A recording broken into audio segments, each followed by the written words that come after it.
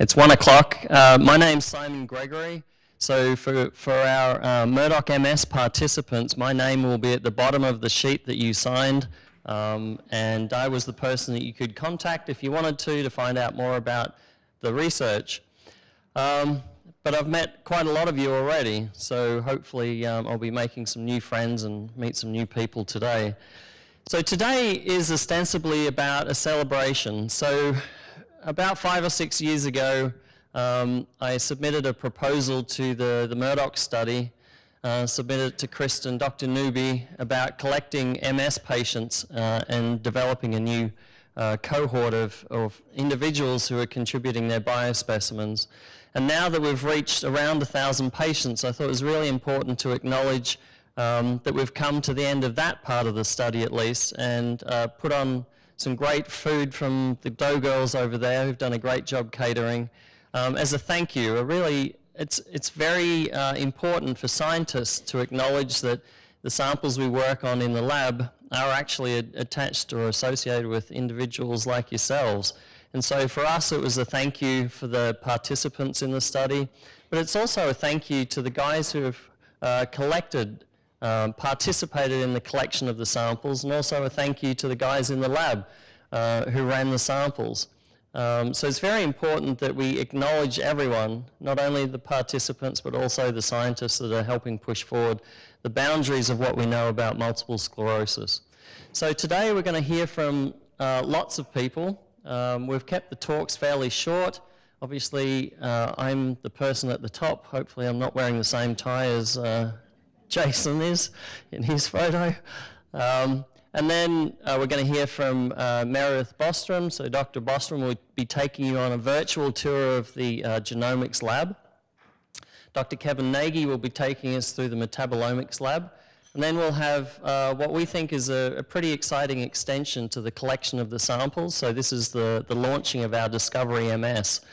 Not only is it a website, but it's also a resource for the participants to keep up with what's happening with the research itself. Um, but it marks a, a, new entity for us, a new um, phase of uh, raising funds, raising awareness for uh, continuing on with our, our research with the individual samples. And then Dr. Sabrina Cote, uh, awesome senior research staff scientist. She's pretty much everything down here for us working on MS, is going to take you through some of the exciting signatures that we've been able to catch a glimpse of to start off with. Uh, Dr. Kristin Newby, who is the uh, principal investigator of the overall MS, uh, sorry, the overall Murdock study, is going to give you a bit of a description about what the Murdock study is and the other sub-studies that we have. Uh, Dr. Dennis Ko will be taking us through uh, his research on how we've used uh, the samples in a particular field of looking at multiple sclerosis and infection. And then Dr. Lee Hartsell, who's a neurologist at Duke, is going to take us through uh, what I've called connected health. It's the development of next generation tools uh, and an app that is able to track uh, MS patients' symptoms, uh, try and identify signatures of uh, disease development, etc., uh, and which really takes us through into sort of the application of these samples beyond just doing the research. It's also progressing into patient health as well. So the original proposal I submitted to Kristin was really to develop, uh, I can't see, see backwards over my head, develop diagnostic and prognostic markers. So diagnostic markers of who may develop uh, such a terrible disease and prognostic markers of uh, who's going to predict, uh, predict who's going to progress uh, with the disease itself. So it was important for us to outlay from the outset what it was that we were going to do with a 1,000 samples. We were teaming up with the Core Lab at the David H. Murdock Research Institute. So the fantastic thing about the Core Lab, if you exit this building and look straight ahead, you can't really miss it. It's the 300,000 square foot building across the, the expanse of grass there. And on the fourth floor of the Core Lab. So the advantage we have with the Murdock MS study and uh, Discovery MS is that Core Lab provides us with the infrastructure for carrying out all the types of experiments that we want to carry out, and we'll hear about two of those core labs today. And by having a collection of biospecimens from the study participants, we can look at more than just a, a one-dimensional approach to trying to find a cure uh, for multiple sclerosis. We, we don't have to limit ourselves just to looking at the genetics, the function of gene expression, the metabolomic, proteomic, etc., and pairing that with very important clinical data um, that we can have access to. And so that's a lot of sort of omic words at the bottom of this slide. So I was trying to figure out a way that I could actually uh, show them to you. So today I'm going to talk about how we uh, use those biospecimens for the generation of the data and the different avenues. So I'd be very remiss if I didn't acknowledge the fantastic neurologists who were able to, um, we've been able to partner with. In this context, Mike, Dr. Mike Kaufman, who is uh, at CMC, um, and he moved to Tennessee a couple of years ago. Mike was just an absolute fantastic uh, collaborator. Mike had tremendous enthusiasm for what we were trying to do. He was extremely supportive even before we'd collected the first sample. So Mike has um, had a, a, significant, his thumbprint is uh, indelibly embedded on the collection because without Mike's support, without having someone of his stature in the MS community around Charlotte, we would never have started collecting samples. And then obviously it's uh, Dr. Conway was then supportive of Mike's effort. We have uh, Dr. Skeen, Dr. Eckstein and Dr. Hartsell, who we'll hear from today, who are neurologists at Duke, who helped us collect at Duke. Uh, Dr. Hughes, who is in Greenville in South Carolina, was one of our sites. Um, Dr. Bodner and Dr. Connolly, more locally. And then finally, uh, Dr. Mitch Friedman, Dr. John Scagnelli at uh, Raleigh uh, Neurology Associates, really got us across the line. We started collecting, like I said, five or six years ago, and it was really tough to get to the thousand that we were aiming for. And um, Mitch and John were extremely supportive, and I'm going to embarrass Nicole because it was not embarrassing enough that I've put a red line around her box. But Nicole, do you want to just stand up for a second? Okay, so Nicole has just been awesome at Raleigh Neurology. So we've needed a Nicole wherever we start a study because they're a fantastic proponent for the study, someone who's on message. And we have this same person uh, for the Murdock study. So Sarah Michael up here, we've even had children since the, study has started. So Sarah, if you'd like to st stand, please. So Sarah and the team in the Murdock office, uh, so we've got Emily, uh, and Leah and Melissa and Carla, Mickey and Perla and Ashley down there have also been extremely supportive of the collection of these samples and it takes a tremendous infrastructure to underlie the collection of a thousand patients. So we've collected across the state, so the Murdock study is primarily restricted to Kannapolis and Cabarrus counties, um, but because MS affects 400,000 people in the US, it sounds like a lot, but if you spread it out across the whole country, there's not enough people with MS in the, um, those two counties for us to reach our 1,000 uh, uh, individual target. And so we went outside of Kannapolis and Cabarrus counties. We had mass enrollments in, in Asheville, in Davidson, in Wilmington, um, at other neurology practices, and the guys would turn up where there were probably one or more, two MS uh, individuals with MS in any one collection, they would turn up and try and collect your biospecimens. So they were fantastic across the state. However, you know, to get to our nearly 1,000 uh, uh, individual enrollments, we had to go beyond the state. We've even got people as far away as Texas, Maine, Florida, um, and in the Midwest who are participating in this study. And so the word about the study had gotten beyond just the confines of North and South Carolina. And we've been able to collect uh, very avid people who want to be part of the study further afield in the state and in the nation. So we've collected all sorts of patients, primarily relapsing remitting, secondary progressive, and some primary progressive, uh, and then a couple of uh, NMO patients and even CIS patients are part of the study.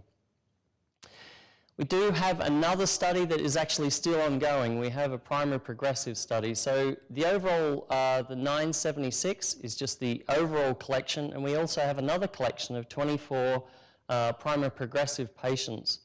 And these individuals, uh, the participants will be collected uh, twice a year for five years. And then um, Sabrina and I worked out the other day, somewhat depressingly, we're not going to be finished until 2020, collecting that last biospecimen.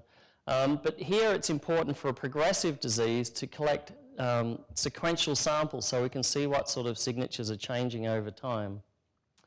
So as I said, we've stopped uh, collection of the larger study for the time being, but for those uh, 24 very, very important participants in our primary progressive study, we're still going to be collecting biospecimens, as I said, until 2020. So how do I describe all those omics in a fairly simple analogy? So um, here we have a two-volume set of Julia Child's cookbook, How to Cook uh, French Food.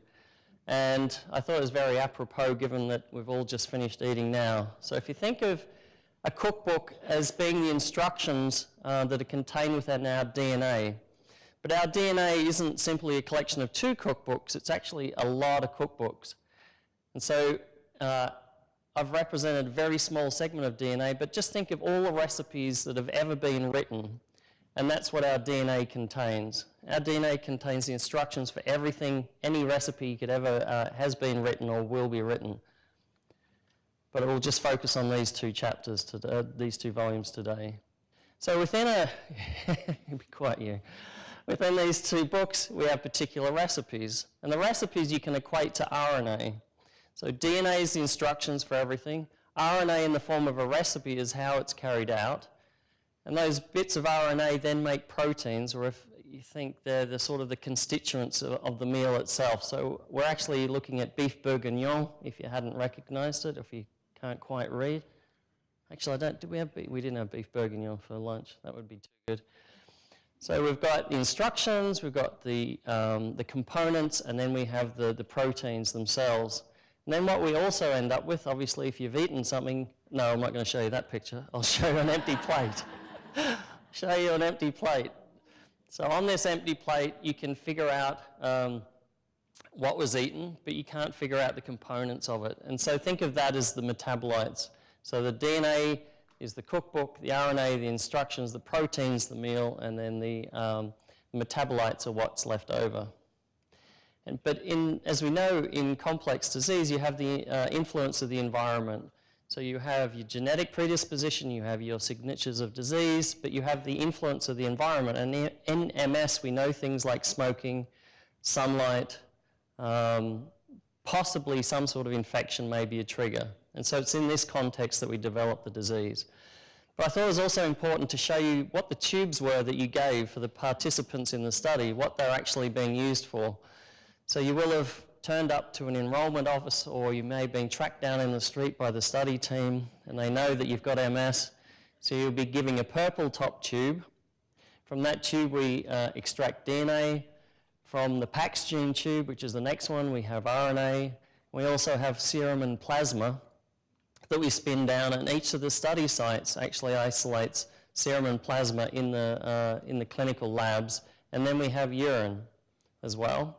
We have uh, the electronic medical records that we need to get an accurate diagnosis and even time to diagnosis.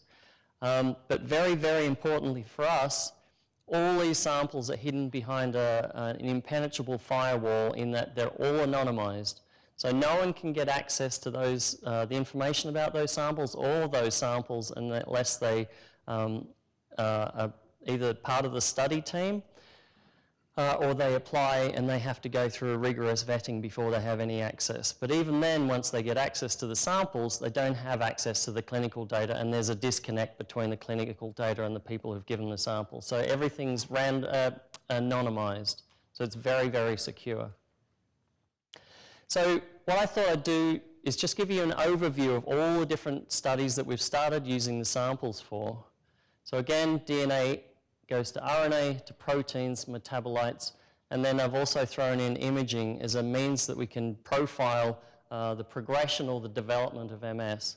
And so it's a bit of a whirlwind tour, but what we're hoping to have on the Discovery uh, MS website are all of these studies, as well as other resources that you can keep track of what we're up to. So instead of just focusing on the DNA or focusing on the proteins, we're casting a wide net, okay? So we're not just focusing on one of the components of the, uh, uh, of the pathway there.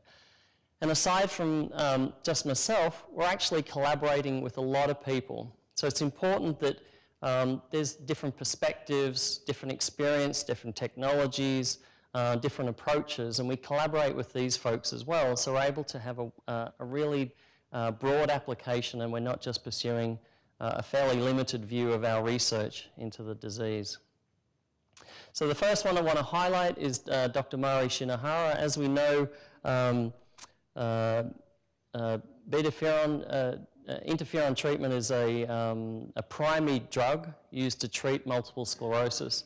And what Mari's been able to identify is that uh, interferon beta uh, recipients actually respond differently. We've known that for a while, that not everyone responds to the drug in exactly the same way.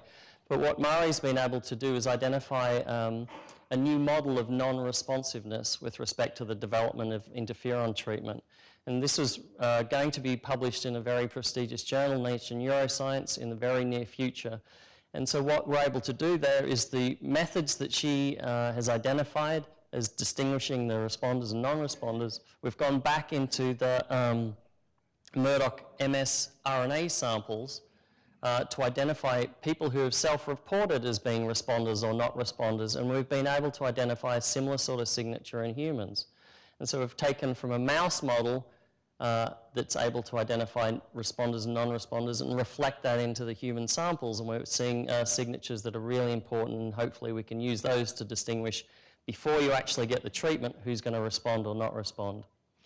Um, Dr. Dennis Ko, who is sitting over there at the moment, will be coming up, so I won't talk too much about, uh, about his talk that he's going to present to us in a little while, but he's using a very interesting combination of genetics so the DNA that we're born with and the predispositions we're born with, together with um, certain proteins that immune cells produce, to try and identify differences between uh, MS cases and controls. And he's, um, we're collaborating with him on the DNA, RNA, and the proteins. Dr. Sabrina Cote, Sabrina will be up talking in a little bit more um, about the signature that we've identified uh, from the serum that we've uh, obtained from the uh, Murdock MS samples. And originally we looked just at the metabolites and we thought, well, how, how can we make it more informative? And so instead of just looking at metabolites, we're collaborating with Farren Briggs at Case Western uh, and Katherine Heller, who's at uh, Statistical Science and Math at Duke, to look at risk variants and RNA, which together with the metabolites give a signature for MS in individuals who have not taken drug. Okay, so invariably what you find is that these disease-modifying therapies will modulate each of these different components, obviously not the DNA, but the RNA, the proteins, and the metabolites.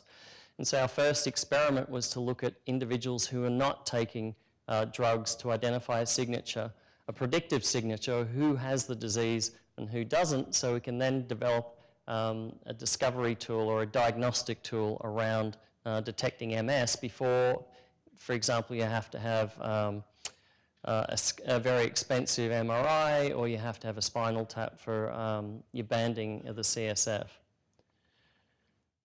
Um, this slide actually summarizes eight years of work. Um, and so what we did in 2007, actually it's nine years, it's even more depressing. Uh, nine years worth of work where we published the first gene to be associated with MS. And by association, I mean there were DNA differences in this gene, this interleukin 7 receptor, a difference in this DNA that was uh, present more frequently in individuals with MS than without. That's it with, uh, in collaboration with Mariano Garcia Blanco, who's at uh, University of Texas Medical Branch. Um, and we've since gone on to collaborate with Farren Briggs again at Case Western and Dennis Ko again to develop this fairly complex picture. So the grey box in the middle is the gene that we identified in 2007. We've uh, established its role in a particular pathway. We've established that this gene, DDX39B, is a new gene associated with MS. We've established that those two genes actually work together in um, uh, sort of splicing, as I've called it, which is just the differential use of components of the RNA. Um, and we've developed, taken three years to develop a, a, mouse model. So this is on the cusp of giving us data that we can uh, understand. And the idea of translating it from human to mouse is that obviously you can't dissect, or you can, but you get in a lot of trouble. dissect humans for it, and so it's easier to understand some mechanisms in mouse in a mouse model than it is in humans. Um, so it's taken us a long time, and we've got a paper at Cell at the moment that we're trying to get published. So, may I ask a Yep. question? Uh, what- For me, that's not really smart. Oh, I would, I would ask the mouse you mean that you have given the mouse? yeah, no, it's a good question. So uh, in the human, um, so the original association, the DNA difference was in a part of the gene that is uh, alternatively included or excluded. In the mouse, it doesn't exclude that part of the gene. And so what we've made are these models that exclude that part of the gene like it is in the human. So we've reflected uh, the function of that gene in mice as it is in humans. Um, and then once we've done that, you then induce an MS model of the disease called experimental autoimmune encephalomyelitis, or EAE for short. So EAE is a fairly well-established uh, model of the disease that causes demyelination. Um, and you do get some recovery. There are different models out there for developing MS, but it's, it's one of the sort of traditional models. So it took us three years and I think probably $250,000 to uh, develop these three strains and um, make sure it's in a pure genetic background. By having a pure genetic background, you don't suffer from all the problems like you do with us humans. We're all a bunch of mutts and we're very genetically different from one another. And so having it in a pure background means that you take the genetics out of the picture and it's only the function of that gene and you know a couple of other mechanisms which may worsen it. And so we can focus just on this gene, just on the function of uh, the inclusion or exclusion of that part of the gene, and then track its uh, process uh, when it develops a mouse model of MS.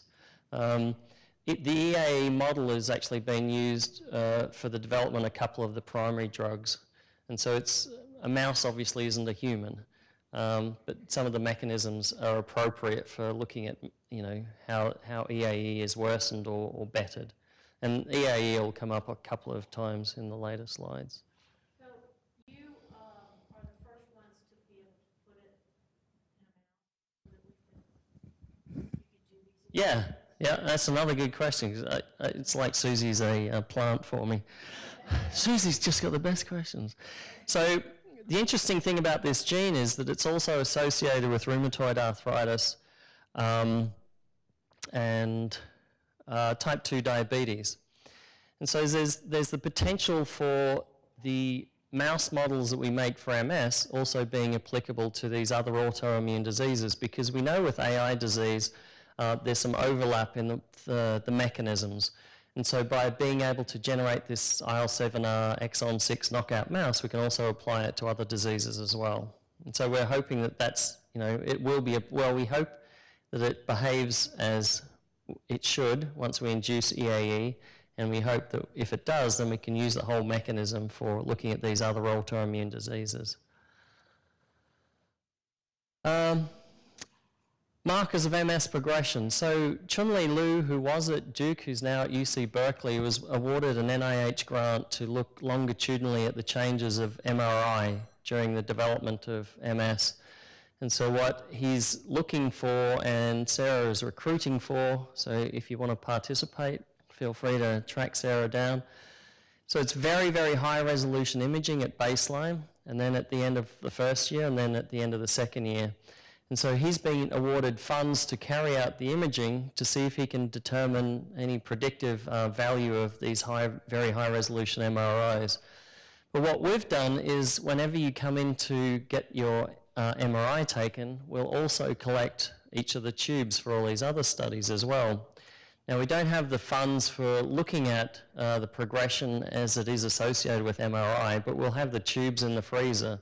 So once we do have funding, once we have um, a connection between individuals who progress, so whether they're primary progressors, secondary progressors, or relapsing remitting, we'll already have the biospecimens banked in the freezer that we can then tie into the progression with the imaging. So uh, Chris Eckstein, who's, uh, so I direct the Duke Center for Research in Autoimmunity and Multiple Sclerosis. I'm the research director. uh, Chris is the co-director of that centre, um, who is the PI at Duke, um, and then Allen Song, who's in uh, biomedical engineering at Duke, is also involved. So here we're looking at the course of disease. So these are individual studies. The next couple of slides are going to have multiple studies on them. So again, the primary progressive uh, study where we collect a whole host of uh, biospecimens from these primary progressors, but our first experiment is to look at the expression of genes uh, within our primary progressors for which we've got four time points. So again, we take genetics out of it because we're comparing yourself to yourself, but we look at the progression of the disease in the context of the genes that are expressed, the recipes, if you like, over a period of time, because it's important to figure out what the mechanisms are associated with the progression of the disease. So we're uh, looking at that. That's one study. Uh, another study, and this is looking at uh, EAE again, and uh, you may have missed that little red thing that drifted down from the top, so I'll show you again. There it goes. So I talked to you about RNA. What I didn't tell you about are there other uh, non-protein coding bits of the genome that regulate the expression of RNA, and these are called microRNA. And so in this study, um, a particularly talented lab analyst of mine, uh, Stephanie Arvai, who couldn't be with us today, and then a graduate student of mine who actually works on autism, but he's still keeping his foot in the door with um, uh, the EAE experiments, is that we're inducing EAE. So this is the, you see the progression from the induction here, and the clinical score is uh, paralysis that starts at the tip of the tail and goes to the forelimbs. Uh, eventually becomes more, uh, its front forelimbs become paralyzed and it goes into a period of recovery here. What we're doing is obtaining blood at these time points to see if we can figure out what are the mechanisms, what what's the RNA or the microRNA changes that happen over this period of time in the mouse. Um, because we think there are certain triggers that are associated with your immediate uh, immune response, and then there's a neurodegenerative phase that comes after the inflammatory response, we want to identify those mechanisms. Again, once we identify them in the mouse, we can go back into the human to see if there are any sort of changes with particular microRNAs or mRNAs uh, that could be implicated in the disease. We've identified one microRNA, so one of these out of, I think the hum uh, humans have six or 8,000 of them, um, which shows differences from baseline uh, to this time point here. There's a study that was published quite recently in a, in a, a pretty good journal. Um, they didn't find it because they weren't looking for it. Okay, so we've cast a very broad net again, uh, and we've been able to identify uh, one microRNA that we think is important. And for example, we'll then take that microRNA, knock it down in immune cells, and then see what happens to the immune cells. Uh, and then the third study, uh, looking at the course of disease, is working with again with Chris Eckstein. Uh, it's a Duke Center for Research in Autoimmunity and MS uh, DREAMS funded study where we're collecting CSF from um, anyone who goes through the Duke immunology clinics or even if they just have a CSF uh, recommended for TAP. And again, we will just bank it. We don't have a, um, an approach we want to use. We just want to bank the samples because you can't do the research unless you've got the samples banked. Um, and so that's part of the DREAM study. Um, and then I'll finish with two bits of, uh, two exciting bits or avenues of research that we're conducting. Uh, the first one is working with Eric Benner. So Eric is a pediatrician at Duke who works on um, cerebral palsy. And you think, well, how on earth is cerebral palsy similar to MS? Well, it has a demyelination component, so the stripping away of the myelin around the nerve cells that interrupt the transfer of um, you know, electrical signals. So I just bumped into Eric and listened to his talk one day, and then we got chatting about the study that he's doing on these particular um, oxysterols, as they're called, they're natural uh, occurring proteins within the body. Um, and so we we've got funds from uh, the DREAMS uh, Research Centre to look at these in the context of MS, where we're going to, we think that they may influence inflammation and they may also promote remyelination. So that's pretty exciting, and that's work with Mari as well. And then the final study I'll talk about is just this one from uh, collaboration with Christian Gruber, who's at the University of Queensland. And so what he's able to identify are um, naturally occurring plants, plant proteins that actually decrease inflammation. Okay, so there's potential for uh, developing or uh, synthesizing these plant um, um, drugs, if you like, uh, which here's the course of EAE. It looks like the other one that I showed you before, but this is a publication from his in a, in a very good journal, which showed that there's sort of an attenuation of the severity of the clinical symptoms uh, with a uh, treatment with these uh, cyclotide molecules, as they're called. Okay, so that's how we've started with um, one proposal to Dr. Newby um, and all the different ways that we're going to apply these samples to furthering MS research or collaboration with folks uh, who are looking at things like inflammation or remyelination and how we can take those signatures back up to look at the biospecimens that we've collected uh, as part of the study. So none of this would be possible, absolutely none of it, without your contribution. So this is a very small token of uh, mine and my co-workers' uh, appreciation for the commitment that the participants have made in this study. And, you know, as I said, we've got 976 participants, we've got 24 primary progressors. So putting on a spread like this is just a very, very small token um, of uh, our appreciation of your involvement in the study. And hopefully, when we get to Discovery MS, the part on the um, schedule there, or schedule, I should say, you will, uh, you'll be able to find a, a, ready source of being able to identify um, the studies that we're, we're continuing with. There, there's flyers on your tables as well. All right. Thank you. And uh, next.